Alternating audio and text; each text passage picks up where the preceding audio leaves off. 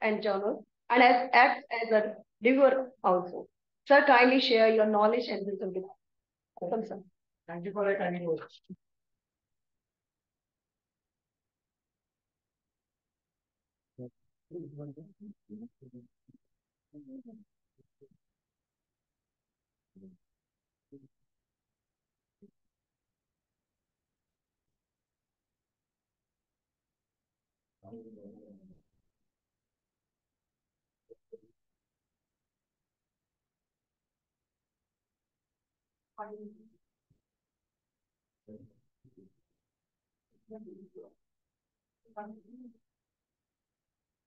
So very good morning, everyone.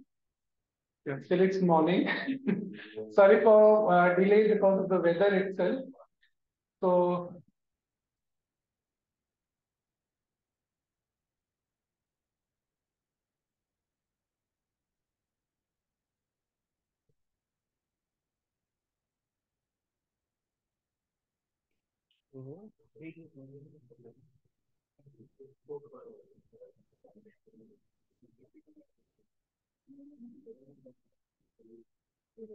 yeah.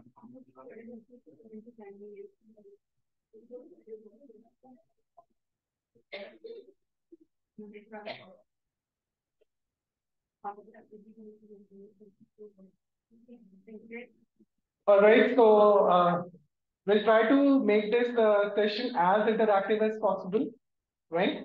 And uh, I'll be glad if you can ask as many questions as you might be having, because uh, largely people nowadays they're more interested in doing quantitative research.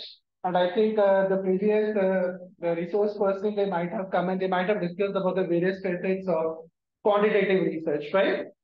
So uh, largely there are not many methods of qualitative research, but largely I will focus on phenomenology, that how we can use it for uh, your research. Apart from that, I'll give you a basic overview of the grounded theory also, and the other methods of qualitative. So largely my area in the qualitative research is phenomenology, in which I have done lot many papers and I have published it in uh, various leading journals, you can say, on various multiple issues. So as has ma'am has already pointed out, so largely I have uh, started uh, working on this qualitative with my uh, uh, thesis uh, topic, you can see on whistleblowing intentions. And that too I started with faculty members, that is on teachers. And I still remember when there is a lot of work which has been done on this particular qualitative methodology. But still, I think quantitative methods have always been there and people are very much familiar with that. But still, I think if you really want to deep dive into certain things, qualitative is the answer. And we're going to explore that and discover also that why qualitative and why not quantitative in certain aspects. Because both the researches are having certain, you can say, uh, advantages and they're having certain scope also. So looking at the scope and looking at the understanding of the qualitative research, we'll try to deep dive into the qualitative research methodology. So I have kept this one for the simple one so that I can give you much more deeper insights into phenomenology. So this will be the agenda or you can say the flow of the presentation. So I will first talking about the introduction of qualitative research, definition and utility, why qualitative, which is the largely the question. Then qualitative research designs we're going to talk about. Then we're going to talk about the phenomenology, how it is different from others. And then overview of interpretative phenomenological analysis, that is a technique and then employing IP qualitative research. Now, if I just ask you people, why we do we conduct research? That's the first basic question. I hope I am audible, enough. Okay. So why do we conduct research? Anyone? Any ideas? There's so much uh, research we are talking nowadays, am I right? And even uh, largely your recruitments are also based on uh, research profile also, which you're carrying, the kind of publications that you have made. But this is one thing. But what is the basic purpose of research as for you people? What do you think? Find new layouts. Okay. To find out new things and to explore new things. All right, that is one thing. Any... Okay, solution of a particular problem. All right. Finding defects, okay. Defining a problem was All right, defining a problem is also important, right? Why do you think, ma'am, defining a problem is also essential? Okay. All right. So putting a problem in a structured manner and then approach towards it, that is one way. So that's why we do research. Any other thought that comes to your mind? To explore something? Yeah.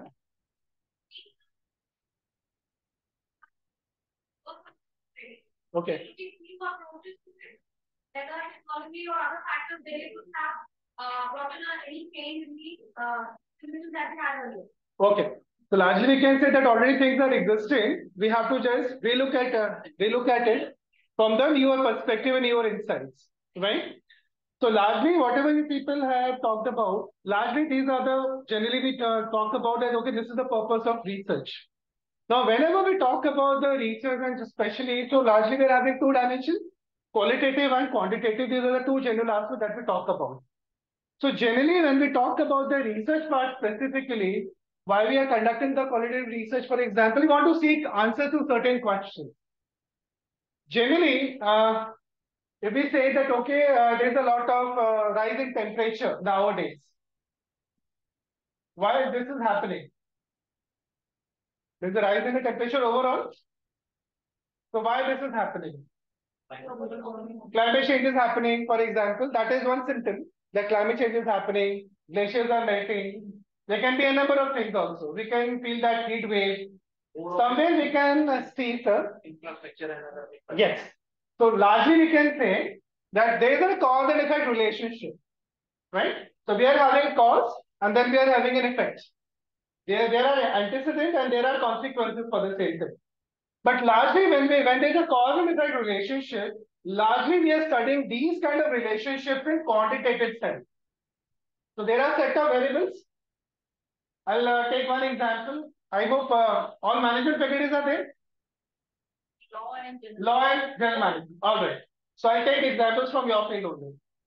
So I take first one uh, from a simple one. Like for example, if I say job satisfaction is increasing or decreasing, there might might be certain factors. So what could be the cause? The job satisfaction increasing or decreasing. So there are certain variables which are responsible for that. For increase or decrease, you can say, of the job satisfaction.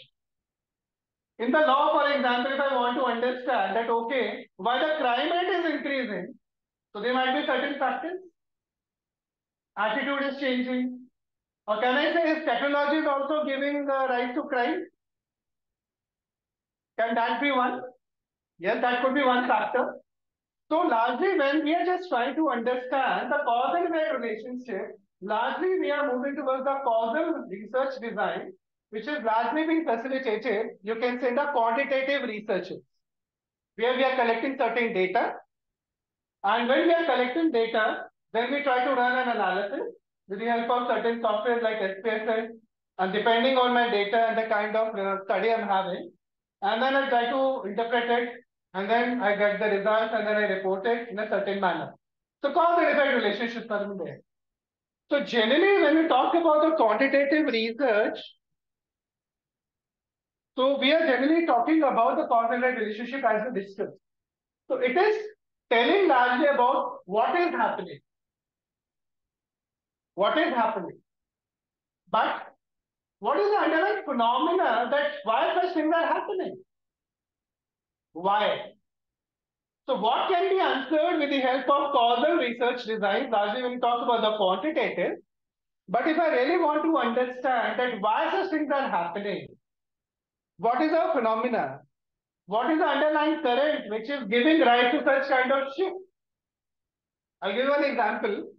Like before election, BJP gave a slogan, Abki baar 400 par. What went wrong? They claim that, okay, they are fixing everything, they are doing wonderful. But still, when we saw the results, results were not that great, especially when we talked about the full majority, it was not there. So if we want to talk about in a uh, cause and effect relationship, there might be certain factors which are responsible. So for that, I can understand. So whenever I am doing a quantitative research, so largely I am able to understand that okay, these are the factors which are responsible for this particular thing, then impacting. So largely we are having two type of variables, dependent and independent. So independent variable is somewhat impacting, you can say the dependent variable, but and they impact, okay, if this is happening, so there will be change in this particular variable. So we can interpret, or these are the implication of this particular study. But if I really want to understand the mindset, if I really want to understand that why such thing is happening, I have to go to qualitative research. So let's try to explore it. Type of scientific research, now many people are thinking कि qualitative में करते ही क्या interview तो लेना है उसमें तो कोई कुछ भी बोल सकता है but largely it is a very scientific study. Because at times okay just tell me one thing. You people are doing quantitative research I believe. So you prepare a questionnaire am I right? After making a questionnaire, then you are administrating it to the respondents. And most of the time it happens that nowadays, because we are having the facility which is given by the Google, so we can share it online. And then we wait that people are going to read it and they will go to fill it. Okay, so how many of you feel that whatever the data you are collecting that is normalized? Do you do data cleaning? This is a very sophisticated term but don't you think that data cleaning is actually data manipulation? Because you want to fit in certain kind of results, you're just trying to clean the data. Or when we say we try to manipulate it so that the results can fit in. And the kind of results that we are expecting, that can be seen there in our research. Am I right? Is this what we largely doing? So, but when we want to go for the qualitative research, that we have to understand first of all. We want to seek answers to a question. Example, if we are saying that, okay, uh, why uh, uh, this crime uh, again, like against women are increasing, for example, right? And you might have seen that there, when this Nirbhaya can't happen, that point of time, the you can say the victim died, but generally the people who were behind all these things, they were you can say they were hanged and somebody even committed suicide and all that. So there was a documentary which was made on them just to try to understand their psychology. So largely they were interviewed and there was a researcher who came from UK just, and she interviewed them. And on that basis only your Delhi crime uh, file has been prepared. That is a documentary, you can say a, a season has been made on that. So they just want to understand that, okay, like what was their thought process? why they behaved in such a manner, how they could do such kind of heinous crime against the women, and they want to understand the psychology. So if I want to understand something which is very personal, something which is very in-depth, something which is not easily available, which is very much in me, inside me, in an individual, I need qualitative. Because somewhere people won't open their mouth. At times when you are administering a questionnaire, there are set questions, जिसे आप items कहते हैं उसको वो पढ़ेगा उसको टिक लगा देगा कि वन टू फाइव के लिकेट स्केल पे अग्री और डिसअग्री बट समय मैंने talk try to understand with the help of you can say qualitative with the help of set guidelines you can say i'm interviewing i'm trying to get people that okay why they are behaving or why they are doing in a certain manner so we are using systematically predefined set of procedures to answer these questions. We are collecting evidence. We are producing, producing findings that were not determined in advance. आपकी quantitative में हमें result पहले से पता होता है हमें right अगर सैलरी है let's be very honest about it largely में पता रहता है कि अगर हमारे ये टॉपिक है और ये हमारे वेरिएबल्स हैं तो what kind of results are expected there is a logical understanding that generally we have कि अगर आपका कल्चर है तो कल्चर का इंपैक्ट आपका जॉब आपका फॉर एग्ज़ाम्पल जॉब सेटिस्फैक्शन पे होना चाहिए। नहीं होता है that's a good thing But that simply shows that culture there is something wrong with job satisfaction either with the culture. But largely what happened, somewhat we are having understanding that the results will go in these direction or in this particular direction. Produces findings that are applicable beyond the immediate boundaries of this study. Generally, you have uh, heard about action research. Action research, I hope all of you are aware about. Action research has been generally been carried out to solve the immediate problem which you are having in hand. So largely in corporates we are having, we are doing largely action research, you can say, which are basically focused on certain problem that we aim to solve at that point of time. Any issues up till here? Any questions? So naturalistic inquiry. So I want to inquire about a certain phenomenon or if you can say certain theme, which are underlying. In-depth understanding of social phenomena within the national setting. Now, for example, you have seen that, okay, if I really want to understand the life of, you can say, the children who are staying in orphanage, now you tell me one thing, in case you want to conduct a quantitative research on that and you want to understand their well-being over there, do you really think that you will be able to get the real insights? Will you be able to? No. So if I really want to understand that, okay, what is the phenomena, what is their life, so I can go and I can talk to them and then I may actually understand the national phenomena over there, am I right? So there are certain sensitive topics you can say which I really want to understand that why such things are happening. So if I really want to understand why, that is why qualitative is being taken care of.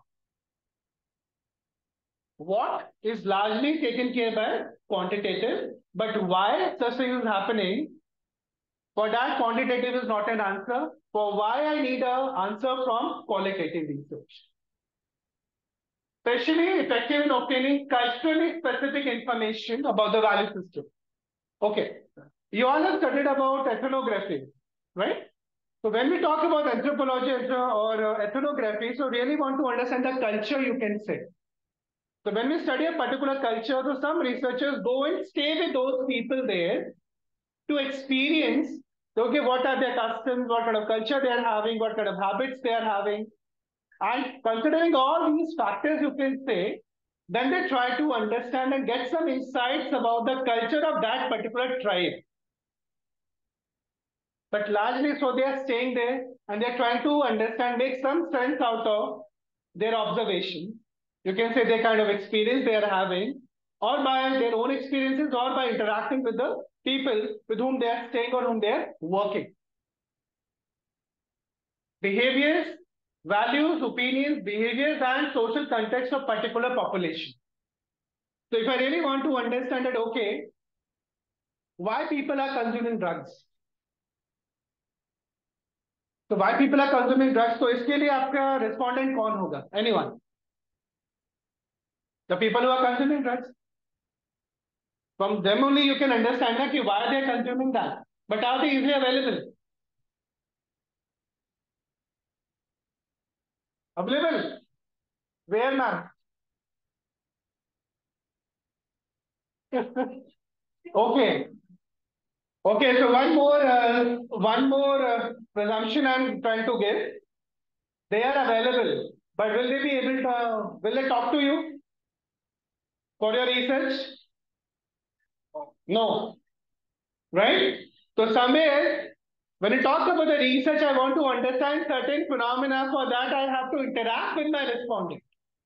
I have to understand the thought process, you can say. Yeah, okay. That could be one thing. But apart from that, any other idea?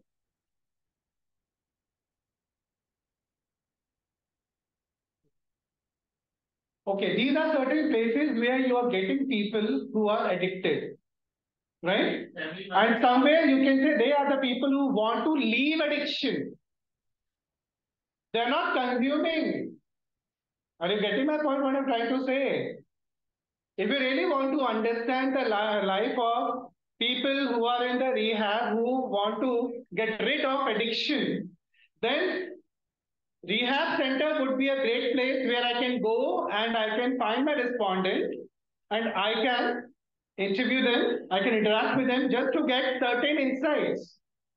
But if I really want to understand the psychology of the people who are actually consuming drugs, for that I have to interact with the right kind of audience. इसलिए sample is very important और sampling is also very important तो जब हम बात करते हैं आपका premises की तो premise is very important in this So premise and qualitative research is very, very important. And when we talk about the premise, we are talking about largely about assumptions.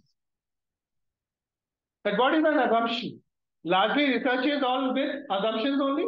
We are having certain presumptions कि my research is scope इतना ही है इसके beyond नहीं है इसके beyond अगर आपको करना है then again you have to conduct a new research to gain a better insight. But generally so we used to fix a premise.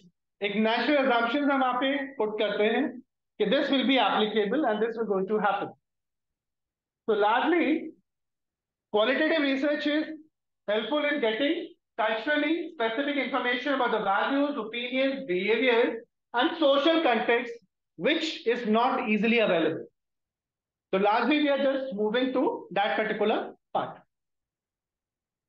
now why qualitative research Because The things which you cannot get into or get from the quantitative, I can get it from qualitative. For example, I'll share my experience. Already there are a lot of research. There's a lot of research that has happened on whistleblowing. In Western world also, but in India it's quite less. But in Western it has happened a lot. But why do you think if I'm conducting the same research on whistleblowing intentions, for example, in India, that would be different from Western countries? Anyone? Any thoughts? I hope you all understand whistleblowing, right? Right? Yeah. People are very vocal in US. There are certain laws which are there to protect people. We are also having law, but still it's not notified. Moreover, the culture is very, very different. So I tell you, when I conducted the, my research on whistleblowing intentions, so what happened when I went to the people, they said, okay, I want data and my topic is this. So their first question was, is management sending it to us? So people are scared. They won't open their mouth.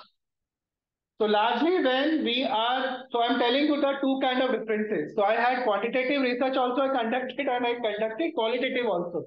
Quantitative, I gave a, gave a questionnaire and then I got the responses. तो सबने कहा कि हाँ कुछ गलत होगा if something wrong will happen I will blow the whistle but in actual in the qualitative when I interviewed those people they said we might not because there are repercussions. Why repercussions? Because we have seen such kind of incidences, so we might not be doing such kind of thing in real. So in what is happening in quantitative, I might be, because I'm having set question and nobody is watching me, I have to simply tick mark and give my response. But in qualitative, actually, I can deep dive that why that person don't want to do that. So, ability to provide complex textual description of how people experience a given research issue. जो हमारे लिए शायद हमें बहुत छोटी सी बात लगती है but for many people it can be a grave issue. To understand a social phenomena, it's very, very essential to get into qualitative, which your quantitative can't give. It provides information about the human side of an issue. quantitative जब आप करते हैं तो largely आप बताते हैं कि इस वेरिएबल का, इस डिपेंडेंट वेरिएबल इस इंडिपेंडेंट वेरिएबल का, इस डिपेंडेंट वेरिएबल पे ये impact but are you actually talking about कि why this phenomena is happening do we ever question that हम खाली ये बताते हैं कि ये फैक्टर्स हैं this could be the probable reason due to which this might be happening लेकिन हम उसमें एक राइडर लगाते हैं कि इसके लिए आपको फर्दर रिसर्च करना और पड़ेगा to substantiate on whatever the claim you are making in terms of implication. So your scope is very limited. That is often contradictory behavior. As I gave you an example, uh, I'll share one more example. Agar aap kisi bhi, especially there are a lot many women, but still we all know that there are a lot of crime that are happening against women, right? Domestic violence, a lot many things are happening.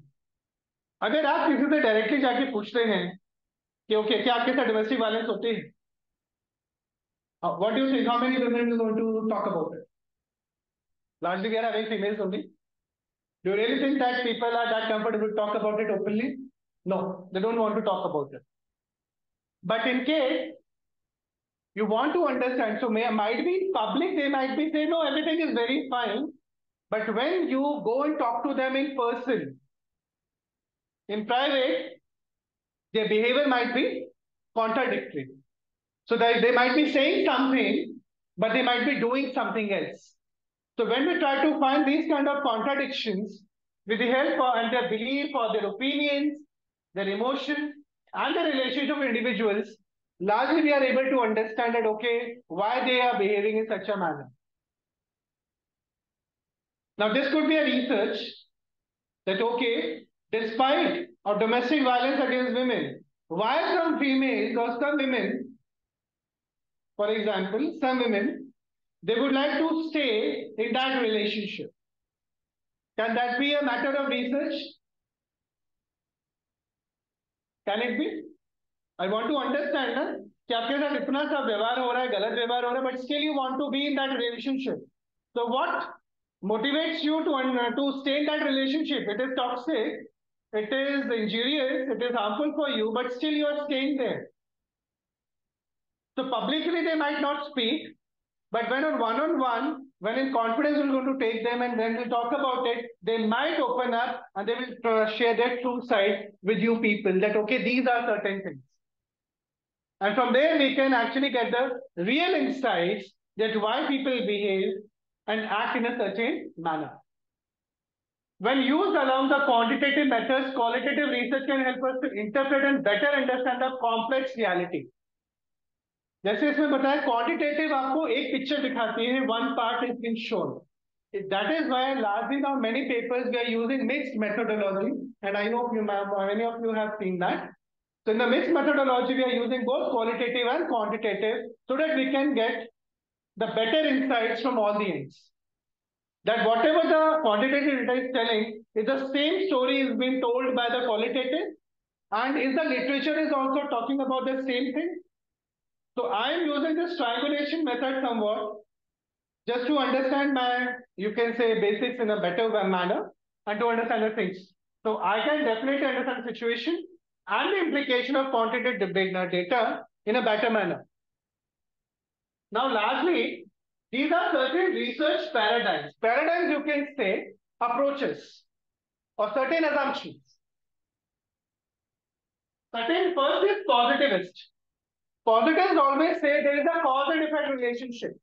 Whatever happens, it happens because there is certain reason. There is a cause, and because of the cause, there is certain thing which is happening. Cause and effect. I hope this is clear. Positivist. Positivist. They are very objective, they are very systematic and detailed. Seeks to explore cause and effect problem solving from science and mathematics. So they are very logical. But when we talk about the interpretative, so interpretation is largely been done to understand the human side, which largely is done by the qualitative. I want to understand the psychology. I want to make, you can say, I want to interpret the text.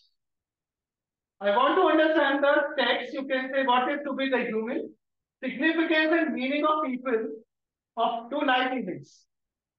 Aims to identify what is important, what is evidence. So yes, when we are interviewing people, we are observing certain people. We are trying to understand people from different perspectives, you can say. With that, I try to interpret certain things on the based on the observation and the experience. That is largely part of interpretivist. Interpretivist, right? And when you talk about the radical and the critical, the desire to change the world and not to just describe it. They want to change something. The world is unjust inequality stems from the social line of gender identity. Okay, how many of you believe there is uh, no gender equality in our society across the world? Do we have gender equality? No. We all agree with that?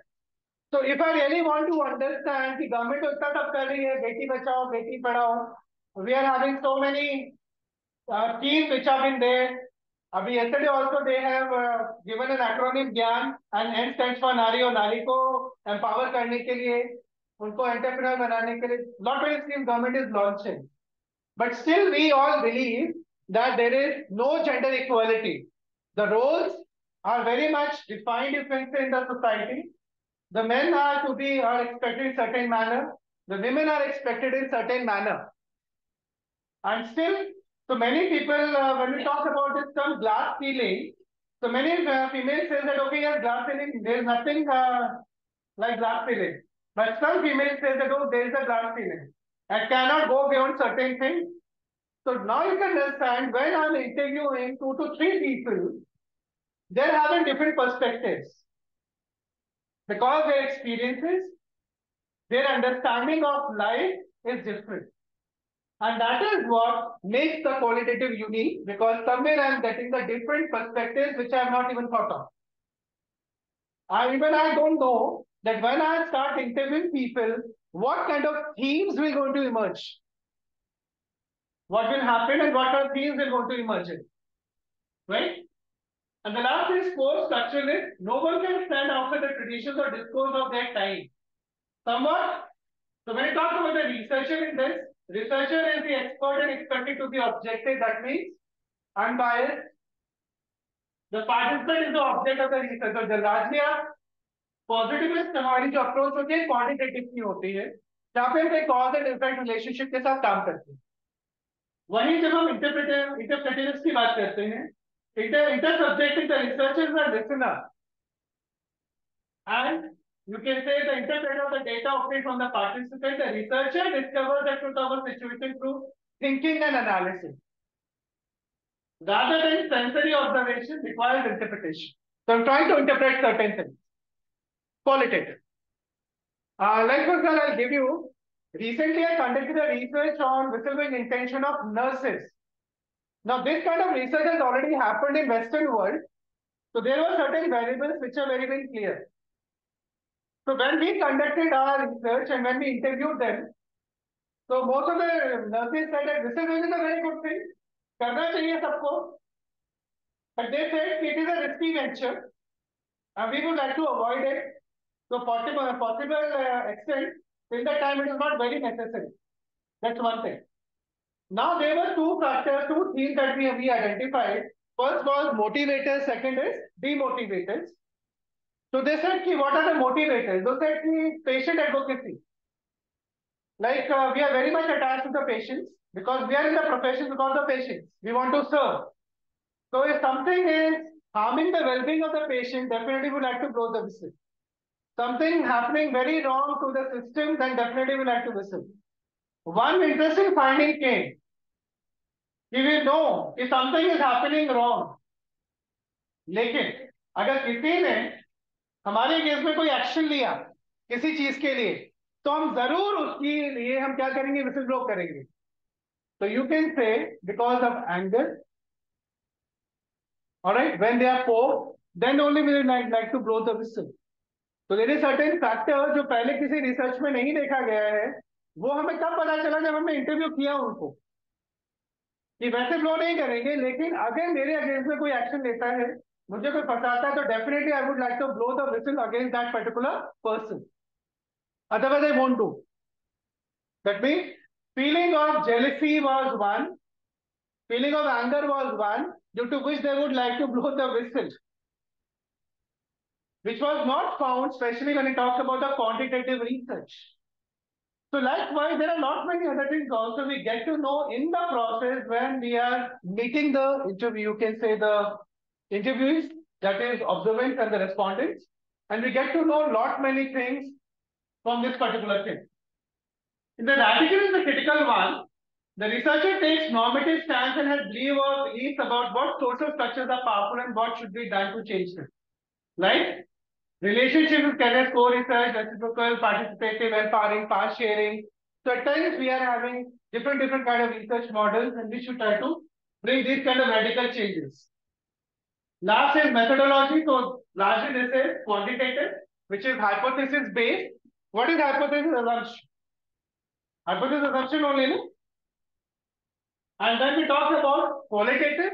So it is largely on based on interviews, grounded theory, methodology, hermeneutics, phenomenological research. So these are the largely, you can say, the four uh, uh, portions. Then emancipatory action research, participatory, collaborative research, different kind of research comes in here. And here this comes discourse analysis, feminist post-structuralism, fewer research and examples. Like lots of research is happening on LGBT issues and gender issues. They come in this particular part. And then last is ontology, social reality social reality सभी की different होती है.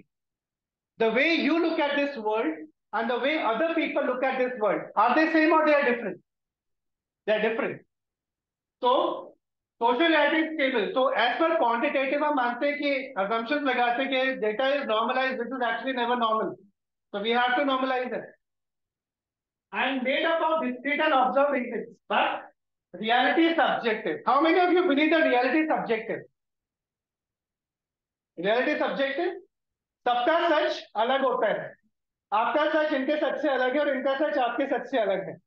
तो truth is very different you can say reality is very different of your then of mind social change begin must begin the root of social reality power is always part of social practice तो power change is the thing and that is what you understand and this is how epistemology also work and then axiology i will share all these things and these are certain examples of paradigms within published research. For example, medical mask versus N95 respirators for preventing COVID-19 among health workers.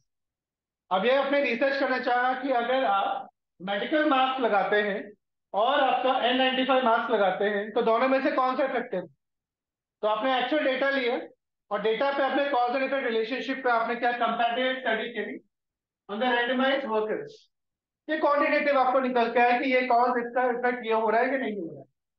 Constructive is experience of health care workers in New York city during corona virus disease 2019 pandemic qualitative analysis now for example अब आप यहाँ देख सकते हैं कि work from home जो आपके लोग करते हैं उनका क्या एक्सपीरियंस है? और I for example I want to understand the experience of the people who are working in the hybrid mode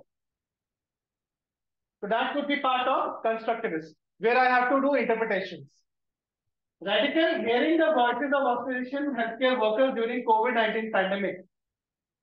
Then, Poclaudian discourse analysis, media reporting on the nurse as zero during COVID-19. तो largely की media आपने देखा है जिस तरीके से reporting करते हैं, discourse analysis करते हैं, sentiment analysis करते हैं, this also become part of it. Quantitative, objective, hypothesis testing is done, and deductive in approach. Deduction, I hope, two approaches we are having, inductive and deductive. Specific to general and general to specific. So this is largely deductive. So we are having a generic assumption and we want to inductive. So it seeks to assess, make association, examine causation, relationship and effects and seeks to answer questions of what? Prevalence, incidence and do and does, effectiveness. आपका relationship effective है या नहीं है? Significant है या नहीं है? But when it come to the qualitative largely subjective यहाँ पे हम हाइपोथेसिस जनरेट करते हैं। जिसे आप कहते हैं रिसर्च क्वेश्चंस हम यहाँ पे फॉर्मुलेट करते हैं। तो आपके जो रिसर्च क्वेश्चंस बनते हैं they are coming from qualitative largely It seeks to describe, understand, describe, understand, explore, discover, generate, examine, and answer. Now you just understand these particular terms. I'm repeating again, please. Describe, you want to describe something. You want to understand something. You want to explore something. Sir ने बोला था कि we want to explore something, discover something. Discovery, exploration becomes part of not this one, this one. Then examining, generating, and to answer questions of why, how, and what, that is experience. Why this such thing is happening? How this is happening? And what? And this makes it different from quantitative. I hope up till here, अगर आपको इतना इसका difference समझ में आए, तो my part is job, job is over. Are we clear on that part? Now again, qualitative and quantitative. So these are the various methods which you are generally using. Quantitative में research design का use करते हैं. Observational studies, descriptive जिसमें case report, case series, case studies, cross sectional, case control, experimental, randomized, non-randomized, controlled variables के साथ आप करते हैं. Quantitative में करते हैं आप. Am I right?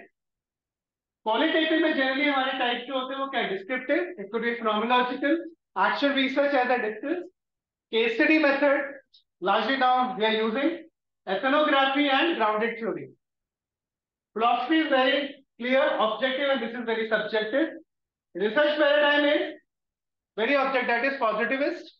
But when you talk about qualitative, is largely constructivist or you can say interpretivist. That means you are trying to interpret something. You try to uh, discover a meaning. You try to make out a meaning out of the, the kind of data that you are bringing in. Largely, when we talk about the inquiry strategies, here you can understand it is largely deductive. That is hypothesis testing. Like for example, you want to uh, understand or you have made a hypothesis that okay, all the people who are above 60, they are uh, not very competent in using technology. This is an hypothesis only, na? it may be wrong, it may be true. But trying, I, I just want to test it. Hypothesis testing. Here I try to generate hypothesis. For example, Tom is 65 year old and he faces some difficulty in using, you can say, latest technology. Jerry is also 70 years old. He's having some difficulty. So what I'm trying, trying to make that the people who are above 60, they face a challenge in using latest technology. So here I am generating on the basis of inductive. मैंने एक sample लिया दो sample लिए तीन लिए चार लिए और उसके बेसिस पे मैंने एक हाइपोथेसिस जनरेट करी है आपके यहाँ पे यहाँ पर आप एक आप क्या करते हैं टेस्ट करते हैं जो ऑलरेडी एग्जिस्ट करती है एक रिलेशनशिप को टेस्ट करते हैं यहाँ पर आप जनरेट करते हैं Are we on same page? Any questions, please? Okay. Research method. आपने सबने पढ़ा है random non random right sampling हमारी टेक्निक्स होती है बहुत सारी रैंडम रैंडम के अकॉर्डिंग तो हमारे स्ट्रक्चर डेटा कलेक्शन करते हैं with the help of question laboratory अगर आपका साइंस फ़ील्ड में है, आप तो आप साइंटिस्ट आप, कुछ ट्रायल्स करते हैं एक्सपेरिमेंट करते हैं बिहेवियरल इंटरवेंशन भी करते हैं ट्राई करते हैं सर्वेल क्वेश्चन के थ्रू आप डेटा कलेक्ट करते हैं then you run your analysis and finally got the result here these are the ways interviews focus group observation document analysis and review जिसे आप कंटेंट एनालिसिस भी कहते हैं art based method such as photo elicitation drawing river of life and social media social media पे आप देखते हैं, आज की डेट में हम क्या करते हैं? ट्वीट एनालिसिस करते हैं। जिसे हम लार्जली इसका पार्ट है आपका सेंटिमेंट एनालिसिस कि जो लोग ट्वीट करते हैं, जिस तरीके के लोग कमेंट करते हैं उनको हम अंडरस्टैंड करना चाहते हैं कि फिनोमेना क्या है? What is there psyche what is the thought process that I can do easily with the help of social media पे जो डेटा अवेलेबल है जिसे हम कहते हैं secondary data based qualitative research and lastly What is research in effect, association, causation, relationship examine? आप ये use करते हैं खाली quantitative Qualitative mein generally we talk about describe, explore, understand, discover and examine. So these are largely the research designs if we talk about. I start with a grounded theory. Grounded theory was, this concept was of grounded theory was given by Glaser and Stokes in 1967. I will share one paper also with you people on this. So grounded theory, largely what they are saying If we really want to uh, construct a theory, so largely grounded theory is being used to construct a new theory. Quantitative research से आप कभी new theory buildup नहीं करते हैं। तो जब भी आपको कोई भी थ्योरी बिल्डअप करनी होती है largely we go to grounded theory studies तो आपको जैसे मैंने बताया 1967 में सबसे पहले ग्लेजर और स्टॉक ने इसका कंसेप्ट दिया था। एंड लार्जली फिर ग्लेजर एंड स्टॉक अलग अलग हो गए। तो ग्लेजर का मानना यही था कि भाई ऑब्जेक्टिव होता है। There is a logical sequence लेकिन स्ट्रॉस ने फिर आपका कॉटन के साथ काम किया है देन दे सेड कि no there is another dimension also there is a positivist approach also तो इंटरप्रेटिविस्ट भी है और आपके यहाँ पे पॉजिटिविस्ट भी है। तो यहाँ पे हम दोनों हैं। तो यहाँ पे कोशिश ये करते हैं कंजम्पशन के बेसिस पे तो हम यहाँ पे डेटा कलेक्ट करते हैं ग्राउंडेड थ्योरी में।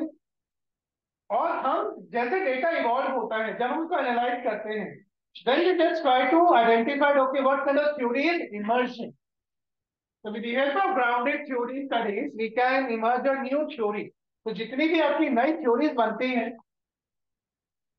this one right I'll come from this one part ethnography if I want to understand you can say the culture of certain place you want to uh, go and understand, for example, certain उसमें जाके आप उनको study करना चाहते हैं। आप क्या करेंगे? वहाँ जाके उनके साथ रहते हैं। तो for example you want to study the people in on particular island for example in Andaman तो अंडमान में आप गए, वहाँ पे जो रिसर्चर है, वो वहाँ पे रहा उनके साथ में। उसके कस्टम्स को, उनके सारे थॉट प्रोसेस को तो वो देख रहे उनके साथ रह रहा है, ज़िंदगी जी रहा है। Ethnography to understand you can say the particular culture particular tribe I would like to go for ethnography. That is to understand the culture of that particular tribe or that particular, you can say culture. I will come to this one last. Historical studies, so now there are certain things that happened in the past. On the basis of the historical data, I try to make certain sense out of it. That what has happened, what could might have happened, what could be the repercussion क्या हुआ होगा? So I try to construct a meaning. Case studies आप इसको relate कर सकते हैं। Case studies में हम जनरली क्या करते हैं? हम एक कंपनी को ले लेते हैं। अब केस स्टडीज़ पे ज़रूरी नहीं कि ऑर्गेनाइजेशन ही यहाँ पर केस आपका कोई इंडिविजुअल भी हो सकता है। I share one experience there is a beautiful chapter which is written on the care givers to the AIDS patient तो ये पूरा आपका जो रिसर्च है वो पूरा फोकस था कि जो केयर गिवर्स होते हैं जो एड पेशेंट्स होते हैं उनकी जर्नी को उन्होंने स्टडी किया and this was a longitudinal study in qualitative where they have actually uh, like uh, interacted you can say with the people who are uh, uh, working as the caregivers to the AIDS patient or cancer patient उसमें दोनों ही थे and in this particular journey they have reported in their entire when they written their narration that many people have lost their life in the process. So before it was, so how was the life in the three stages I discussed here? Before this the disease was identified. पहले तो पता ही नहीं था कि आपको कोई disease है तो उससे पहले लाइफ का क्या स्ट्रक्चर था जब आपको ये आइडेंटिफाई हुआ कि आप एड्स है ये मान लीजिए कैंसर पेशेंट है उसके बाद लाइफ में क्या चेंजेस आने शुरू हुए? अब आपको पता है कि अब ठीक है, आपको हॉस्पिटल में जाना है ट्रीटमेंट स्टार्ट हो गया, उस फ़ेज़ के क्या चैलेंजेस हैं? एंड विद इन देखा है कि दो साल के अंदर पूरी जर्नी उन्होंने नाप की है different stages that researches and in that it was identified that what kind of psychological the psychology of psyche the people who are the care givers not the people who are actually having the disease but the people who are actually giving the care to them, उनकी क्या situation है? उनका क्या experience उनका क्या thought process है? They would they wanted to understand that किस और क्वालिटेटिव में अगर आप पीएचडी भी करना चाहें तो पॉसिबल है दो सब्जेक्ट के ऊपर भी आप अपनी ना पीएचडी कर सकते हैं। दो पे। इनफैक्ट एक पे भी कर सकते हैं। आर नॉट मेनी एग्जांपल जहाँ जैसे टेस्ट है टाटा इंस्टीट्यूट सोशल साइंसेज वहाँ पर आपका क्वालिटेटिव स्टडीज़ हुई है।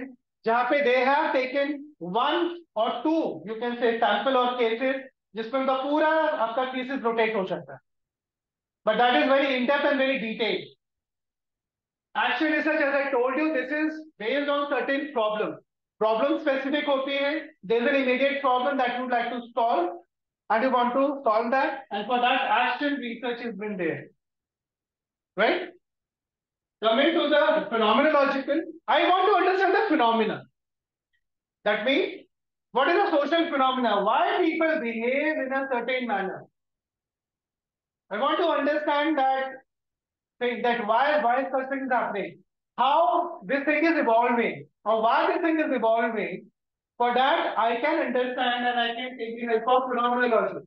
Now, what makes it different from others? This is purely based on the experience of the respondents. This is largely banking upon the experience of the respondents. Now, there are other ways also which I will tell about it. Now, there are various methods to analyze it. Narrative inquiry is one, phenomenology is another. These are the various designs which I can use for my study, you can say, whatever I would like to go for. So these are largely the things which you can in there practice and study as I have discussed. The phenomenological studies examine human experiences through descriptions provided by the people involved. Now, there can be two ways of doing the study. One is observation method. I just came here and I just want to understand that, okay, I took a FDP and uh, what was the reaction of the people and how they were responding, how they were interacting. So I might not take your interviews, but mere on the basis of my observation, not to speak by observation. I just have to observe people. I have to just see them. On the basis of the observation, based on my understanding, I will going to jot down my experience. Another is that I will be talking to you people, and then I would like to know your experience. And on the basis of your experience, by removing my bias, I want to understand your experience, and that is what phenomenology talks about. So largely it is called lived-in experiences. So phenomenology is basically talking about the lived-in experiences of the respondent, which makes it very unique from any other qualitative methodology. And I love it for it. Because somewhere you are not putting your own biases into it, own experiences, but rather whatever the findings are coming in, whatever the themes are emerging, they're just coming from the interpretation of the lived-in experiences of the people. So I give the example of visiting intention of nurses, of teachers. They all have discussed about their personally lived-in experiences. Now there is, and as a researcher, what is your job? Your job is to report whatever they have talked about, whatever they have told you in their own words. So generally, I will have shared some papers also with you. तो largely हमारे पास data होता है quantitative में कि हमने इतने लोगों से भरवाया। अब आप यहाँ पे कैसे कहेंगे कि आपने जो बोला कि ये टीम निकल कर आई भाई निकल भी ऐसे? है तो will work on that activity also after this ये आपको कैसे पता चलेगा? वर्बेटिम्स हम यहाँ पे लगाते हैं।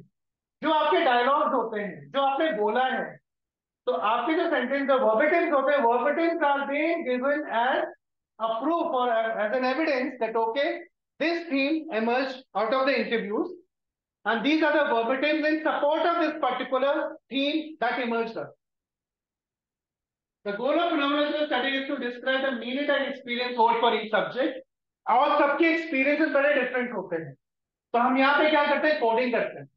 कोडिंग सारे सभी में होगी यहाँ पे। Each subject, this type of research is used to study areas in which there is little knowledge.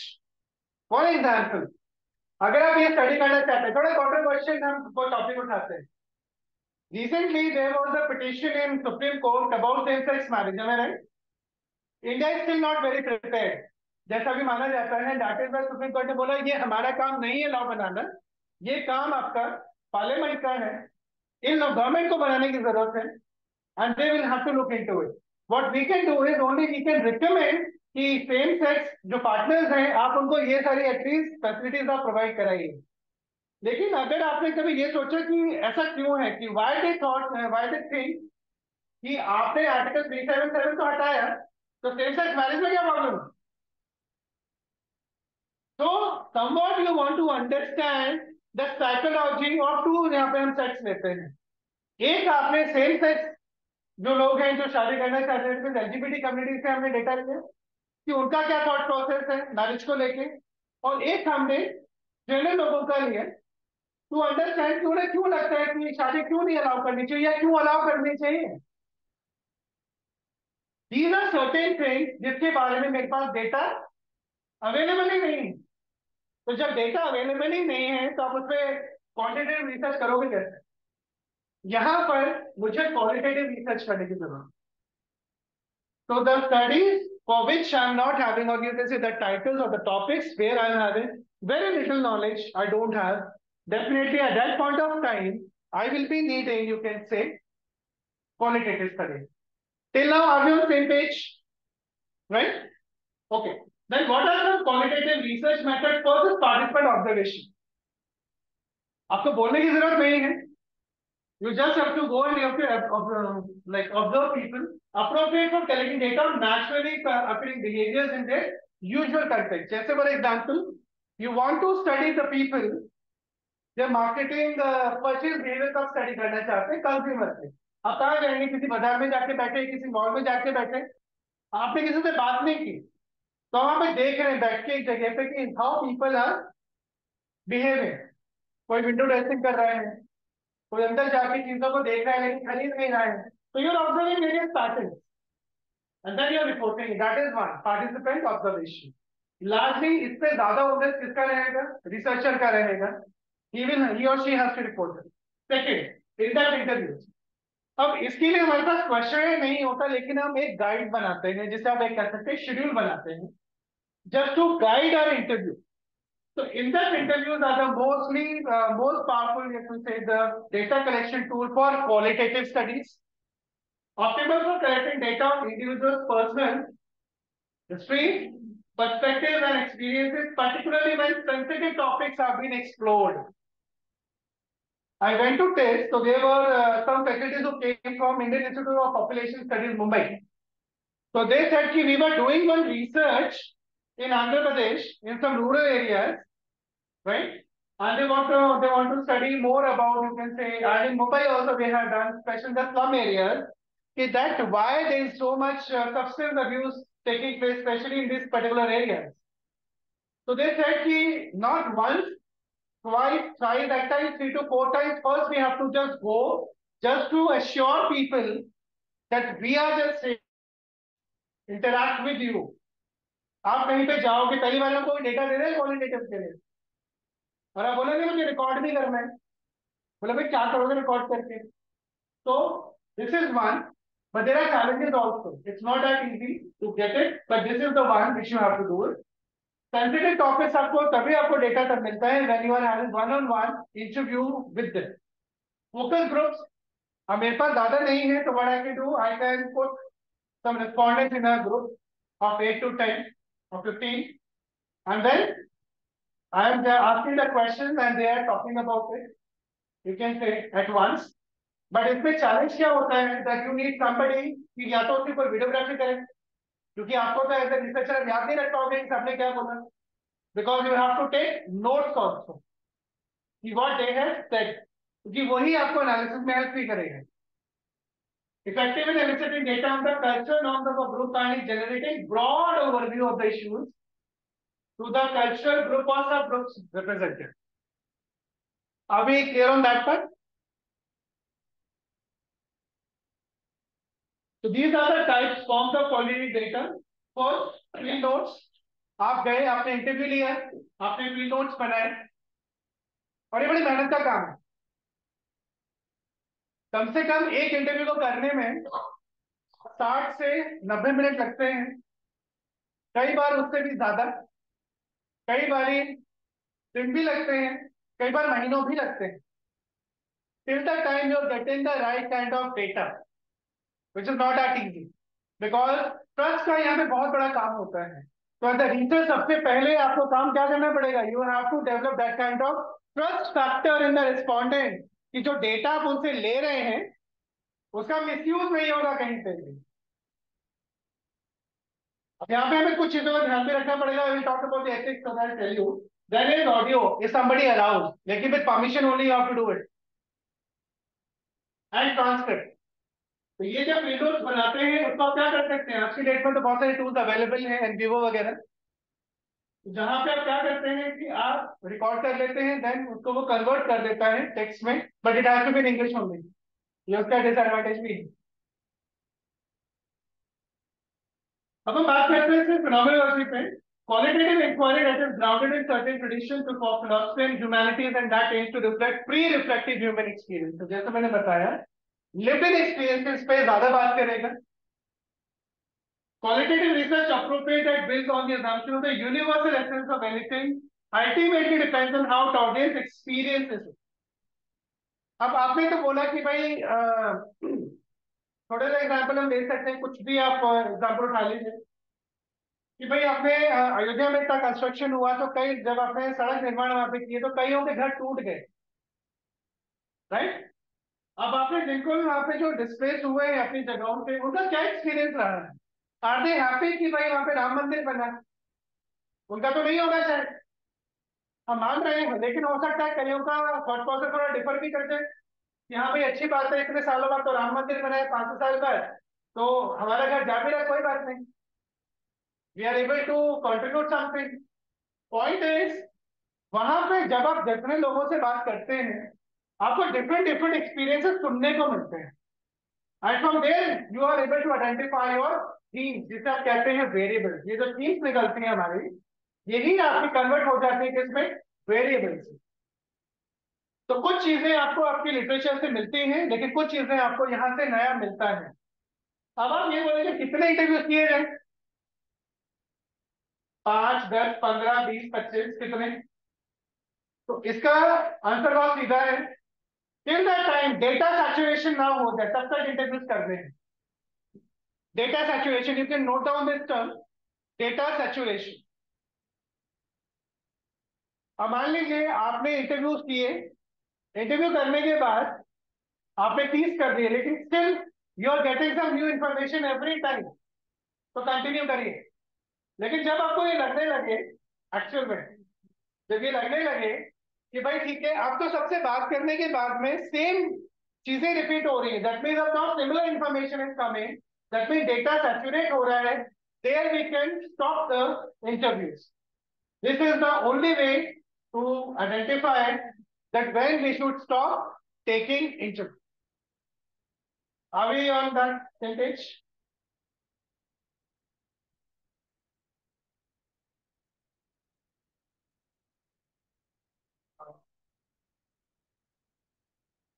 Yes, But still one cannot be sure even after that. You know, you can have a new data again. Yes. In case if you are not getting the right uh,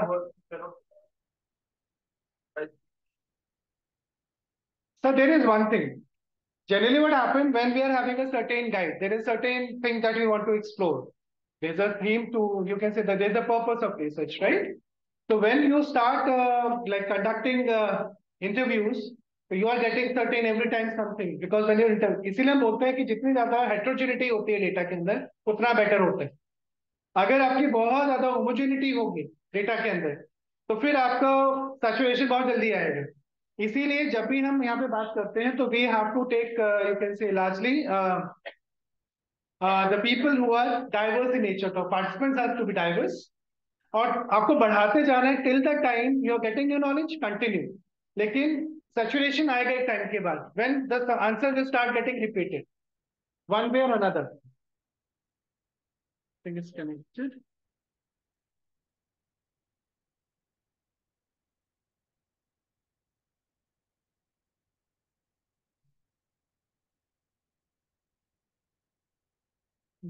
will not work.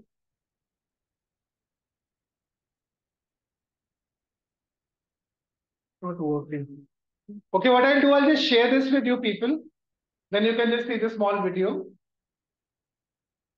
Okay, so just coming to the story end, the phenomenological inquiry that can be adopted to explore the unique meaning in any structure of any educational experience or lived phenomena. This is the uniqueness of this one. Now, what is uh, this research method? It's record and analyze the beliefs, feelings and perception. Now, these are very, very different from one person to another. Your belief is different from yours. Your value system is different from other person's value system. So they are looking to study relation to the things being studied. So only the audience view matter. यहाँ पे researcher का view matter नहीं करेगा. हम यहाँ पे जब experience की बात करेंगे तो रिसर्चर का एक्सपीरियंस रहा। हम we are not talking about that but largely we are talking about the experience of the respondent researchers person assumption perception about the phenomena should be irrelevant जिसे हम कहते हैं रिसर्चर का जो बायस है that has to be kept side जैसे आप product alpha की सब वैल्यूज़ वगैरह निकालते हैं, और आप बहुत सारी वैलिडिटी टेस्टिंग भी करते हैं, और हम भी बोलते हैं कि bias should be removed right? Similarly the bias has to be removed from this place also तो phenomenology में generally हम we uh, we try to understand understanding of audience thoughts and perception about the phenomena you are researching. It could be anything. It could be anything. It could be job satisfaction, it could be work culture. आपने बोला कि government इतना funding करती है कौशल विकास पे या आप कह लेते हैं स्किल डेवलपमेंट पे but still why the results are not satisfactory अब तो वाई लगाना पड़ेगा ना। गवर्नमेंट ने इतनी फंडिंग कर दी है गवर्नमेंट ने इतना सारा सेंटर्स बनाए हैं, इतने सारे लोगों को ट्रेन भी कर दिया है सर्टिफिकेट भी मिल गए हैं। But still why still people are not employable अब यहाँ जब वाई का क्वेश्चन आएगा, क्या करेंगे? क्वांटिटेटिव या qualitative qualitative that why I want to that why such things are happening कि ये सारी चीज़ें हो रही है but still something is been there So finding the lived experience of the phenomenon in question depends on your interpretation and analysis. So this is very important and for that you need to be very much experienced. And this was uh, founded by Edmund Husserl and Alexander Fender at the beginning of the 20th century. So I'm not just going into a historical perspective. So these are the two people, Edmund and Alexander. They have emerged this uh, theory, or you can say in the early 20th century. And this philosophers and the strategists are Adolf Dinach, Max Scheller, Edith Walter, they provide pioneering descriptive analysis of the social phenomena. Largely, ये जो आपका phenomenological की जो studies हैं, they are largely been used in medical field. Smith, Cranswell, इन सबका बहुत काम है इसके ऊपर, Smith का बहुत काम है. And in this, they have talked about कि जैसे नर्सेज हैं जो मेडिकल स्टाफ हैं जो पेशेंट्स हैं उनके ऊपर बहुत स्टडीज़ हुई थी तो लार्जली देन आप from there now this is also been used in the various studies specially in the management and then understanding of other minds motive social acts collective intentionality the main forms of social life nature of social life all these things become part of phenomenology so underlying phenomena kya hai that i can easily understand with the help of this So this is generally they started. So in 1945, this concept was came into, you can say, 1913. Husserl introduced phenomenology as the science of the essence of conscious. After that, in 1927, Edgar, in Being and Time, this is the book, we interpret our actions and meanings in the world by looking at our relations to our world. हम एक चीज़ कहते हैं जैसे दृष्टि वैसे सृष्टि। I think it's carries a very deep meaning इसने ये बात कही है हमारी लाइफ वही है जिस दृष्टि से हम देखते हैं अपनी लाइफ को। और सबकी लाइफ बहुत डिफरेंट है। किसी के world is full of roses और किसी के full of thorns Moving to the next part, 1945, belief phenomenology includes deliberate reflection as noted in being and nothingness, emphasizing freedom of choice. Next is phenomenology of perception showcase various phenomenology placing importance on human interaction and experience. Murray ने काम किया and Proustad in the 1930s phenomenology migrated from primarily German philosophy to include French philosophy. In the book Search of Lost Time recounts past experience. So largely आपके जो experience पे ही based है phenomenology और उसी को हम यहाँ पे स्टडी करते हैं दोनों की स्टडी अगर आप देखें डिफरेंट में ये है, या पेस्टोमोलॉजी पे बात करती है, या ऑन्टोपोलॉजी पे बात करता है पर्सनल लिविंग है जो एक्चुअल में उसकी क्या लाइफ है, जो उसको जी रहा है person exist been in end of the world जिस दुनिया में वो रह रहा है। Next is knowledge is historical this is historical data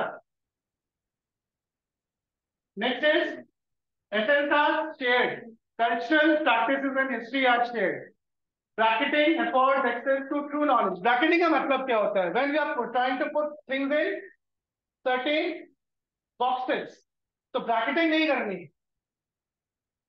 cultural interpretation grounds any knowing like for example Indian culture है कि लाइक अगर हमसे कोई उम्र में बड़ा है तो we should give respect to them am I right ये कल्चर प्रैक्टिस है आप देखते आ रहे हैं वो शेयर भी हो रहा है and you are doing it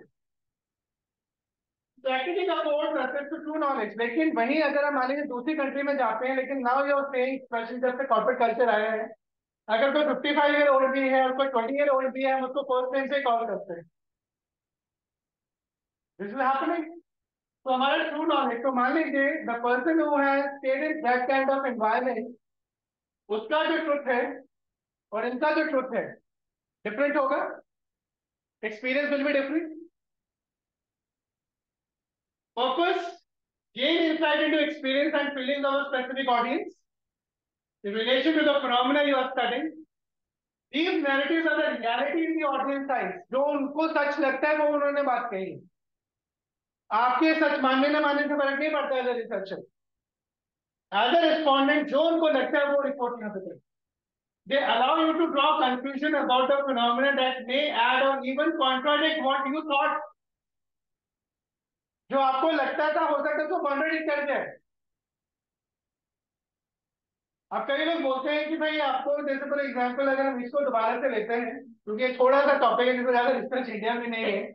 आप एलजीबीटी इश्यूज़ पे अगर आप स्टडी करते हैं ज़्यादा तो आपका एक अंडरस्टैंडिंग है, आपका एक थॉट प्रोसेस है एलजीबीटी कम्युनिटी के बारे में।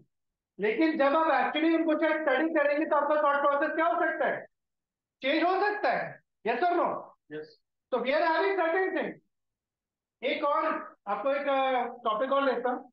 हम मानते हैं कि there is a violence against women but I say there is a violence against men also but there are no cases अगर केसेस नहीं है तो can be say that there no cases of violence against men by women right? So we don't have any law as such we don't have any such cases तो largely वो हमारे पास picture में नहीं आते हैं तो कई लोगों को लगेगा यार ऐसा ना होता है but in actual the people who are experiencing that they are having a different story to say are you getting my point and that's what makes it unique आपका थॉट प्रोसेस या मैटर नहीं करेगा matter करेगा यहाँ पर कि respondent को क्या फील होता है और उसके बेसिस पे then you are trying to draw a phenomena that may contradict what you thought you knew, knew about it from internal perspective. कईयों को लगता है कि कई लोग जेंडर चेंज करा देते हैं लड़का लड़की बन जाता है या लड़की लड़का बन जाता है ये सब करने की ज़रूरत क्या है लेकिन अगर आप देखें कई लोगों से जैसे बात करते हैं तो उनको बोलता है कि not very comfortable in this body Now you understand the kind of thought process they are having. Their reality is very different from yours. Yes or no? So definitely the way they are seeing the world, the kind of experiences they are having and the kind of experience you are having, that is different. So definitely I would like to understand that. So definitely it is valuable to gain audience insight, generate awareness about the item being studied and develop new theories. कभी भी आप theory आप कभी भी quantitative studies में theories को क्या करते हो टेस्ट करते हो कि भैया जो थ्योरी बनाई है वो रेलेवेंट भी है कि नहीं है बट ये you are developing new theories in the qualitative examples Would you study of thoughts and experience of family members waiting for a loved one who is undergoing major surgery? Next is this could provide insights into nature of the event from broader family perspective. इसको एक छोटा सा और example के साथ आपको समझाता हूँ there are many people in COVID who lost their lives am i right there are many people who lost their loved ones during covid. लेकिन people who are blessed enough जिनकी फैमिली को कुछ नहीं हुआ। अब आप इन दोनों लोगों के एक्सपीरियंसेस को जरा स्टडी करें। इनफैक्ट मैं बोलता हूँ, तीनों को स्टडी करें। एक वो, जिनकी फैमिली में कुछ नहीं हुआ, सब ठीक ठाक था, पहले भी आज भी अच्छा है। कुछ ऐसे लोग, जिनकी एक्चुअल फैमिली में लोग चले गए हैं। और एक ऐसे लोग, जो फैमिली में तो नहीं गए, लेकिन उनके कुछ जानने वाले लोग गए तो क्या इन तीनों के एक्सपीरियंसेस में आपको लगता है there will be some difference हाँ definitely right there this methodology can help you so if i could have convinced you for qualitative research कि क्यों conduct करना चाहिए तो मेरा काफ़ी हद तक काम आई एम सक्सेसफुल तो any questions up till here please Yeah, ma'am. I mean, but already said that uh, there are biases in this also, so we have to remove the biases also. What are the tools for removing the biases in Okay. kind of? तो lastly when we are तो यहाँ पे हम different types of coding करते हैं जिसे हम कहते हैं पहले ओपन कोडिंग फिर एक्सीएल कोडिंग हम यहाँ पे करते हैं ओपन कोडिंग में क्या होता है कि मान लीजिए आपके साथ तीन या चार लोग आप एक टीम है जो रिसर्च पे काम कर रहे हैं आपने इंटरव्यू कंडक्ट किए कुछ आपके फ्रेंड्स ने किए, जो आपके को रिसर्चर्स हैं। अब आप सभी ने क्या किया कि भाई इन्होंने बना तो लिया है तो क्या कुछ सिमिलैरिटीज हैं? कहना क्या चाह रहे हैं? What they are pointing out to तो आपने कोडिंग करना शुरू किए कि what are the themes that are appearing अब जब आप उसे करते हैं तो आपने सेपरेटली कोड किया। नाम ने सेपरेटली कोड किया। है तो आपका थॉट प्रोसेस उनका थॉट प्रोसेस क्या है मैम अलग अलग है? तो ये पहला स्टेप है ओपन कोडिंग तो आपके क्या थीम्स निकल कर आए उनके क्या थीम्स निकल कर आए फिर आपने क्या किया? तो फिर मर्ज करना शुरू किया कि क्या सिमिलैरिटीज निकल कर आए क्या डिसिमिलैरिटीज निकल कर आए फिर आपने एक्सीएल कोडिंग करना शुरू किया ओपन कोडिंग पहले आपने इंडिविजुअली करी, फिर एक्सेल कोडिंग आप सभी ने मिलकर करी। तो जो कॉमनैलिटी थी, आपने उसको अलग किया। जो डिफरेंसेस थे, आपने उसको अलग किया। जब आपके चार लोग बैठे हुए हैं तो definitely bias will be hundred percent कहीं नहीं कर सकते but largely to great extent you can do that या यस डेफिनेटली नॉट बिकॉज़ वो तो आप कर ही चुके हो, वो तो देखो अल्टीमेटली आप डेटा कलेक्ट कर चुके हो ऑडियंस से तो राइट रेस्पॉन्डेंट्स का डेटा आपके पास आ चुका है। अब आप ये देखना चाहते हो कि जो हमने डेटा कलेक्ट किया है, वो डेटा कहता क्या है? What kind of story this data is telling so this is what i would like to understand yeah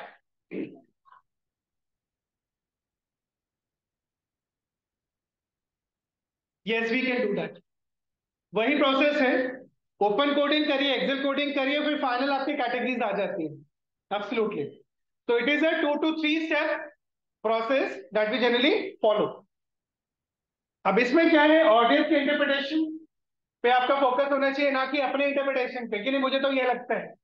आपके लगने से कुछ नहीं होता।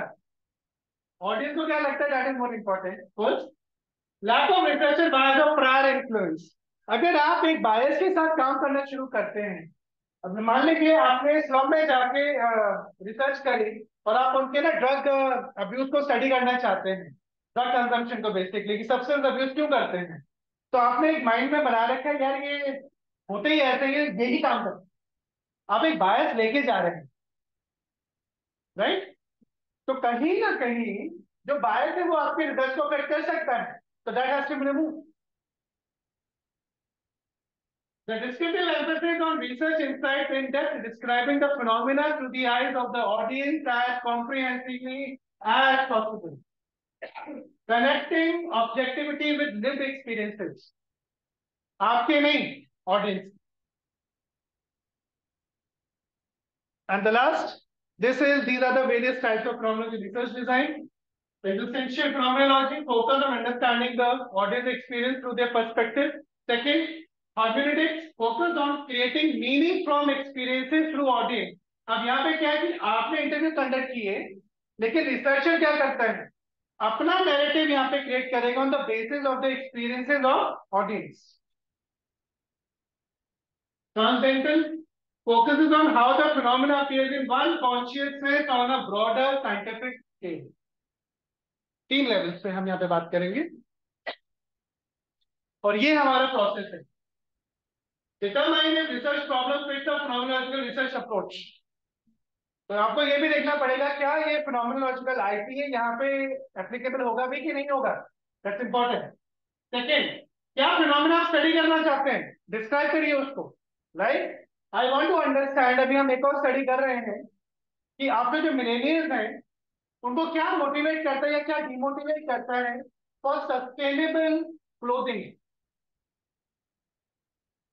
right I want to understand I want to understand कि ड्यूरिंग कोविड जो वर्किंग वुमेन है, उनके क्या मोटिवेटर्स है या क्या डिमोटिवेटर क्या इश्यूज़ और क्या चैलेंजेस उन्होंने फेस किए ड्यूरिंग कोविड तो यहाँ एक रिसर्च पेपर जिसमें ऑलरेडी वर्किंग आपका रिव्यूज़ में है। और एक हमने काम किया कि जो मेटर्निटी बेनिफिट जिसको मैं डिस्कस करूँगा, थोड़ा सा आपको कमेंट्स में दिखाऊँगा जो मुझे आए भर भर के उसमें। तो उसके अंदर आप देखेंगे कि मेटर्निटी बेनिफिट एक्ट में जो अमेंडमेंट किया गया 2017 में, जहाँ पे तीन महीने से बढ़ा के छह महीने की आपकी लीव बढ़ा दी गई है और काफ़ी सारे चेंजेस किए गए तो उसमें बड़ा बटा हुआ सा है सोसाइटी कुछ लोग कहते हैं कि एम्प्लॉयबिलिटी विमेन की बढ़ेगी।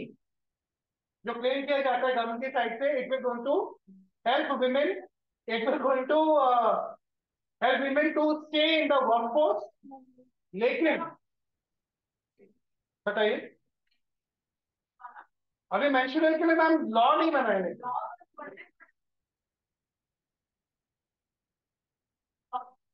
लोगों के व्यू बड़े क्लियर थे, आपकी स्मृति डालने के लिए ये बात कही थी, आपके मिनिस्टर ने। ये नेचुरल प्रोसेस है। इसके लिए छुट्टी की ज़रूरत नहीं है।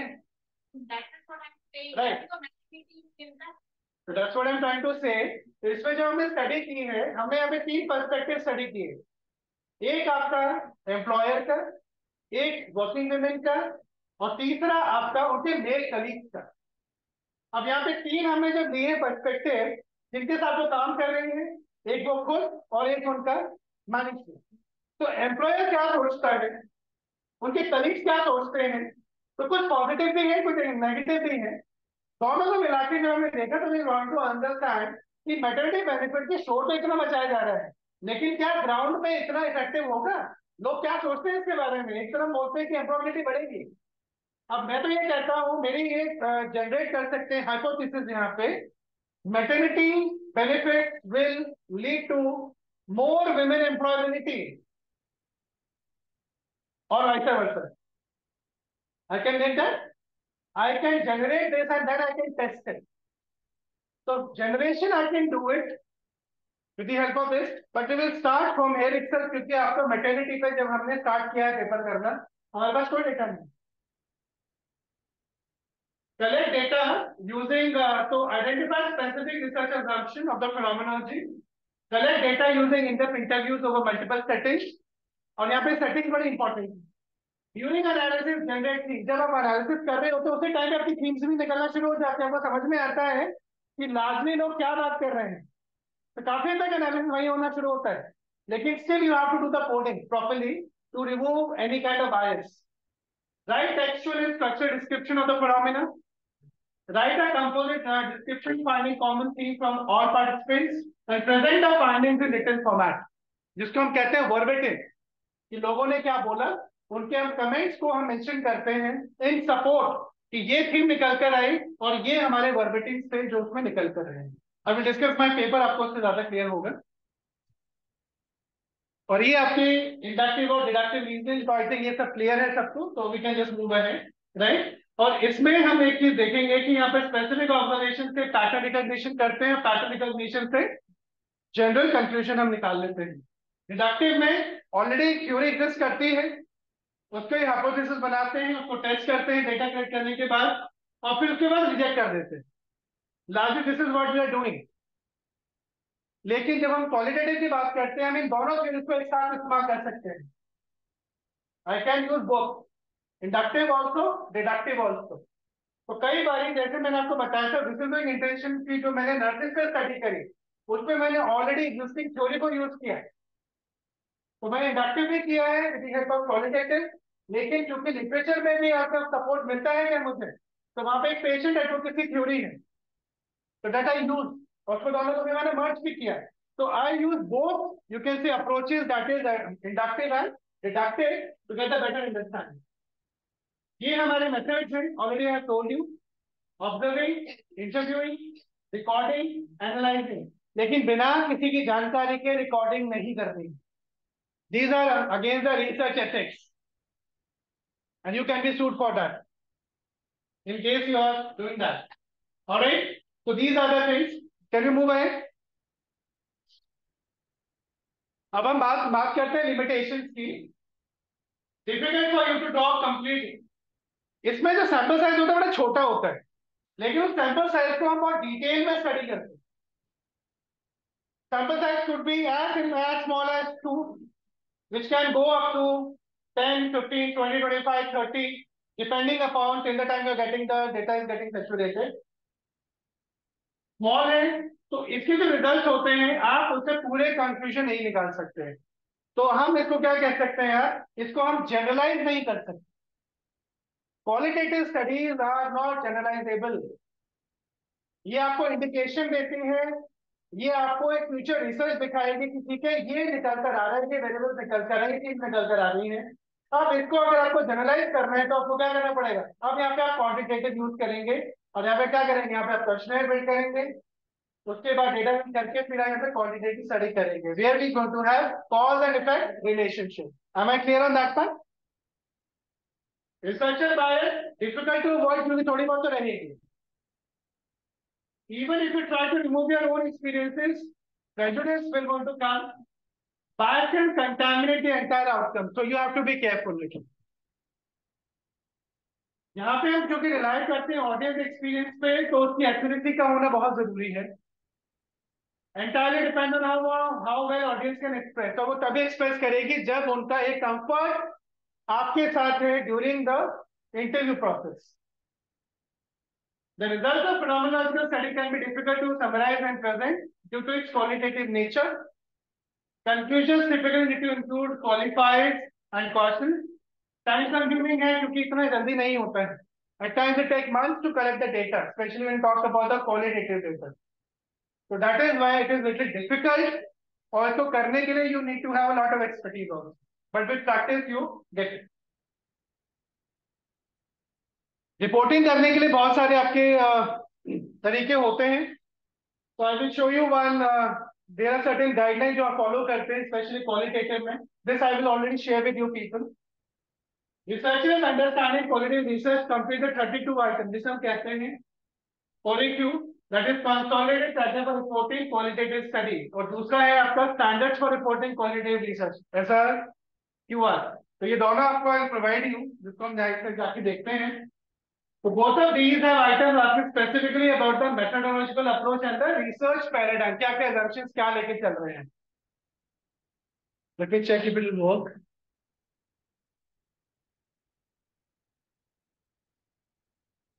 I'll just show you this later. And ultimately, detailing आपको मिलेगी lived experiences पे and that is going to help you out. And these are the little bit features. We have theory here, so I'm just skipping it. I'll give you this PPT, don't worry. Examples that how do people uh, with genetic conditions view change medical technologies? ये एक example है जिसपे आप study करना चाहेंगे. What is relationship between delusions and personal goals? Next, how do people come to terms with the death of partner? जैसे कि partner की death हो जाती है तो how they cope up? How does the women's sense of identity change during transition to motherhood? What model of person do priests have? How does being HIV impact on personal relationships? These are certain topics that are that are worth researching as an example, and uh, these are the three types of IPM phenomenology, hermeneutics, and ideography. We merge all these three. We describe, we interpret, and then it will like focus on the individual and the theory of interpretation. So we are doing all these things to understand the lived experience. This is done by Smith et al. So I have just taken from there itself. And these are the steps. सबसे पहले क्या करिए read करिए read करिए एक बार में नहीं होगा आपने जो ट्रांसक्रिप्ट बनी है ना आपकी आपने इंटरव्यू ले लिए ट्रांसक्रिप्ट रेडी हो गई है क्वेश्चन आपने पूछा, उसका आंसर है, पढ़ते रहिए। इनिशियल नोटिंग करिए उसकी। Pre association scoring cementing that is writing notes in the margin जब कहते हैं मेमोइंग डेवलपिंग इमरजेंसी तो इनिशियली आपकी जो थीम इमर्ज होगी बनाते चले जाइए। डोंट वरी कितनी बन रही बनाइए। सर्चिंग फॉर कनेक्शन थीम्स आपकी इमर्ज हो रही है। क्या उनके बीच में कनेक्शन है? अब आप क्या करेंगे यहाँ पे? ओपन कोडिंग करेंगे। अब उसके बाद एक्सेल कोडिंग स्टार्ट करेंगे। Moving to the next case. Try to bracket previous schemes and keep open mind in order to do justice the individuality. हर एक इंटरव्यू को आपको स्टडी करना है एक एक करके लुकिंग फॉर पैटर्न क्या तो पैटर्न है, जो सिमिलर है या डिसिमिलर है taking interpretation to deeper levels deepening analysis by utilising metaphors temporal reference initial आप कोडिंग कर सकते हैं लेकिन उसके बाद आप जिसे कहते हैं कैटेगरी आप डिफाइन कर सकते हैं कि this is the category that finally I decided कि जनरली आपके आईटी के स्टेप्स होते हैं given by Satyan And these are the references and this is thank you. This is all about theory वाला part. अब आपके जो next session में हम लोग करेंगे I want you कि आप how many techniques are there ma'am? I mean, can we have some groups of three to four people? So you can make group of three to four people. Identify any particular topic that you would like to research upon. Got it? So I will be discussing two things. First, how to create a interview guide ताकि आप सीखें interview guide कैसे आप बनाएँगे उसके बाद I tell you I give you some data मैंने दे दिया है वैसे आपको एक मैंने ट्रांसक्रिप्ट का डेटा दिया है छह से सात का और ये उस पेपर का जो मैं बता रहा था मिलेनियल्स का, कि why they would like to go for what are the motivators and demotivators for sustainable clothing आपको क्या करना है? आपको वो ट्रांसक्रिप्ट पढ़ने हैं और आपको उसमें कोडिंग करनी है।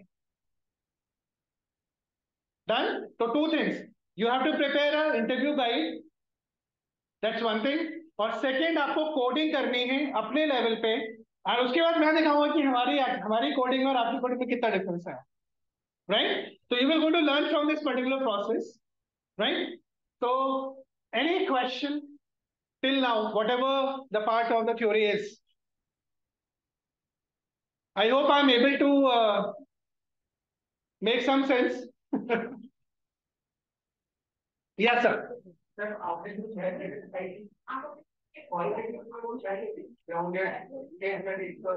या जनरली हम जो कैटेगराइजेशन करते हैं वो यही रहता है आपका कि आपको या तो आपको एथनोग्राफी होती है स्टडी या आपकी केस स्टडी मेथड आप इस्तेमाल करते हैं। एक्चुअली रिसर्च एक्चुअली सेपरेट ये रिसर्च है सेपरेट है। अगर हम बात करते हैं फिनोमिनोलॉजी फिनोमिनोलॉजी इज़ सेपरेट जैसे फिनोमिनोलॉजी में आपने बोला कि आई हैव यूज़ एडवेनेटिक्स ठीक है? या मैंने इडियोग्राफी यूज़ करी सोलली तो you can use it together you can use it in pieces right तो this is how you can do कई जगह थीमेटिक एनालिसिस इस्तेमाल करते हैं। कई जगह नैरेटिव इंक्वायरी यूज़ होती है तो there are lot many ways through which you can do the reporting depending या ma'am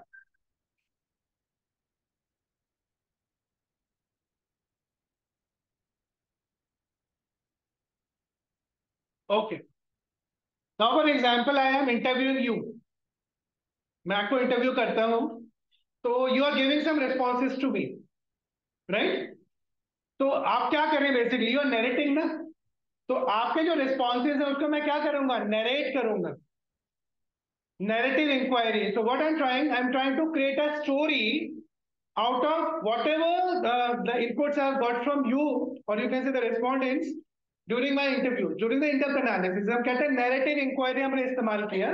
We try to understand the philosophy कि वट आर देयर थॉट्स तो हमने स्टोरी फॉर्मेट में, अब यहाँ पे क्या है?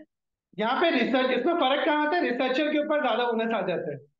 वो अपनी अंडरस्टैंडिंग के बेसिस पे आपका जो नरेशन है वो रेडी करेगा यहाँ पे। कि आपके रिस्पोंडेंट ने ये बात कही and this is what they meant तो वो इंटरप्रेट करेगा। ये नरेशन है।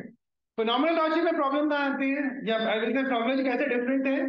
फिनोमिनोलॉजी में जो आप कह रही हैं वो एज इट इज़ जाएगा। वहाँ पे मेरा कोई भी इनपुट नहीं होगा I am one who is just reporting it in a given format. Apart from that, nothing is been there. तो नेगेटिव इंक्वायरी ग्राउंडेड थ्योरी ये सारे मेथड्स हैं बहुत मिले जुले से मेथड्स हैं जैसे मैंने आपको बताया ग्राउंडेड थ्योरी जनरली में हम यूज़ करते हैं थ्योरी डेवलपमेंट के लिए हम यहाँ पे कोई भी प्री एजम्पशन लेके नहीं जाते हैं ग्राउंडेड थ्योरी के अंदर स्पेशली कि ये थ्योरी निकलेगी डेटा के अंदर ही थ्योरी अवेलेबल है, लेकिन वो क्या, वो अपने आप इवॉल्व होगी उसमें से। तो डेटा जब हम एनालाइज करना शुरू करते हैं तो ऑटोमेटिकली यहाँ से क्या होता है थ्योरी का इवोल्यूशन होता है।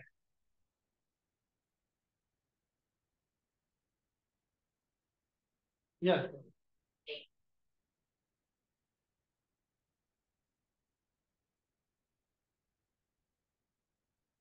डिपेंड करेगा मैम जैसे अगर हम ग्राउंडेड थ्योरी अप्रोच लेके चलते हैं तो आप ये बोलते हैं कि हम कोई थ्योरी लेके नहीं चल रहे हैं पहले से। हम डेटा हमने कलेक्ट किया डेटा एनालाइज करते हुए ये थ्योरी इवॉल्व हुई। ये थ्योरी इवॉल्व हुई। पहले से नहीं है। और अगर पहले से कोई थ्योरी एग्जिस्ट करती भी है तो आप क्या करेंगे? क्या रिलेशनशिप है और क्या रिलेशनशिप नहीं है? तो that could be an add on लेकिन आप ये मान के चलते हैं कि अच्छा पहले से अब कई क्या कहते हैं ग्राउंडेड थ्योरी में स्पेशली कि लिटरेचर रिव्यू नहीं करना चाहिए। कईयों का मानना ये है कि आप पहले डेटा कलेक्ट कर लीजिए और उसको आप एनालाइज करिए और आपको पता चलेगा कि हाउ इट इज़ इवॉल्विंग कई लोग कहते हैं कि लिटरेचर आप करिए ताकि आपको पता है कि क्या काम हुआ है, आपको एक अंडरस्टैंडिंग डेवलप होती है और उससे कोई इम्पैक्ट नहीं आएगा। बट इट ऑल डिपेंड्स और किस स्कूल ऑफ़ थॉट को फॉलो करते हैं but literature definitely you have to take specially अगर ऐसा कोई काम है, जैसे मैंने आपको बताया कि ऐसे एरिया में जहाँ पे कुछ अवेलेबल नहीं है लिटल नॉलेज इसमें दे तो वहाँ पे तो बड़ा मुश्किल ही होता है तो वहाँ पे आपको you have to conduct qualitative course and then only you have to move ahead right तो this is how so just moving ahead now there are two things there are two papers so you let me know which you would like to discuss this is one paper which I was talking about exploring whistleblowing intention of indian nurses and qualitative study which i which we have done this is my paper only किसी और का नहीं दिखाऊँगा मैं अपना ही दिखाऊँगा आप लोगों either you can go with this paper And there is one more paper. This is going in Indian higher education sector, qualitative study. ये टीचर्स के ऊपर है अब इसी पे करना चाहेंगे जिस पे भी करना चाहें दोनों रिज़ल्ट सही है ये टीचर्स पे हमने करे अच्छी बात। है तो ये आपके पास अवेलेबल है। हाँ जी।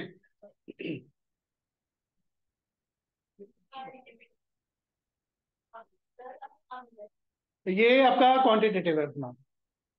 तो अभी हम दो लेते हैं। एक आपका और है जो एंटरप्रेन्योरशिप पे है, जो हमने स्टूडेंट्स पे किया था।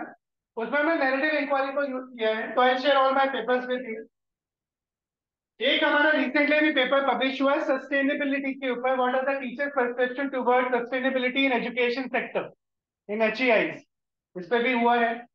मैं आपको दो लर्निंग ये वाले दो देता हूँ मैं आपको जिस पे आप स्टडी कर सकते हैं। तो let's have one paper which one would like to go maximum majority to go by that one teachers okay so please just go through this paper This is the intention of teachers in higher education.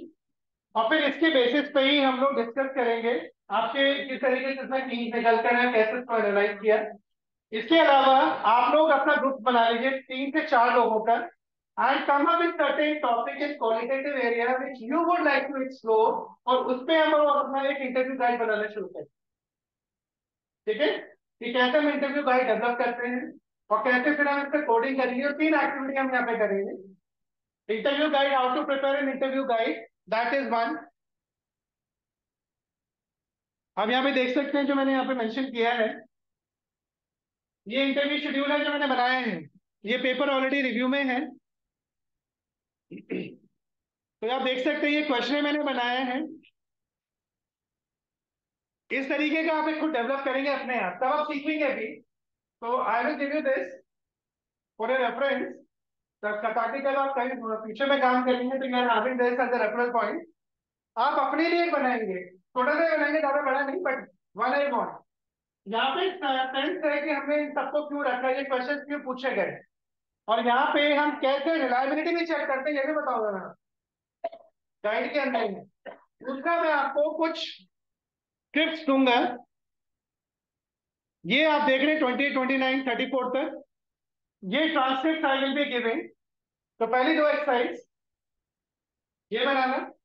दूसरा, आप इससे क्या करेंगे? Analyse करेंगे और आप इसमें initial themes निकालेंगे। आइडिया मैंने बता दिया आपका मोटिवेटर और डीमोटिवेटर फॉर सस्टेनेबल क्लोथिंग ये आपको करना है। और चौथा हाउ टू डू तो ओपन कोडिंग आप यहाँ पे करेंगे। You have to coding you have to prepare this one and then we're going to discuss one paper, how to write a qualitative research good to go with that any uh, reservations Okay then, so we can take some break and then we can meet again.